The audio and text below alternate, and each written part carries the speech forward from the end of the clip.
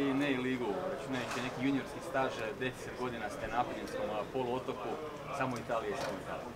Pa je da, već sam dugo u Italiji, tako da dobro sam se snašao i ajmo reći da je neki moj cilj bio da ostanem u Italiji, tako da eto, e, ovo sa Bolonjom se odbilo stvarno u kratkom roku, tako da eto, sritan sam što sam ostao tamo i što igram i dalje u Italiji.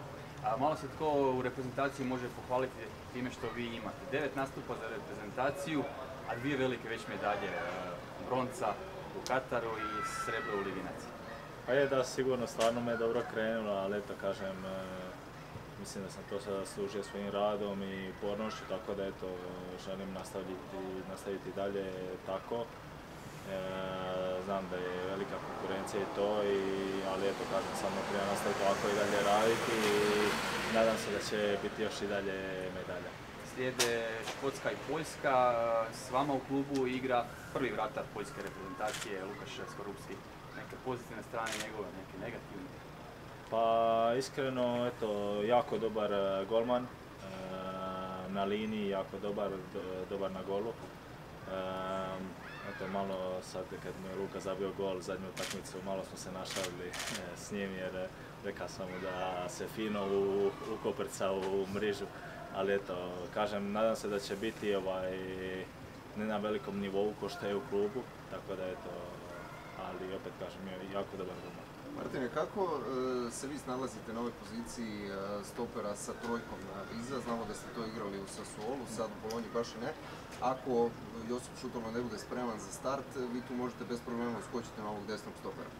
Pa sigurno da, to sam već igrao u Sassuolu dva, mjeseca sa trenerom Baladinijom. Dobro sam se snašao, ali kažem, tu sam, spreman sam, tako da eto, nadam se da će biti prilike, tako da eto. Kako je vama sad u Bolonji, e, prešli ste u klub koji igra sad i Ligu prvaka, kako su dojmi, niste još skupili minute, ali vjerujem evo, na toj velikoj pozornici e, malo je drugačiji osjećaj.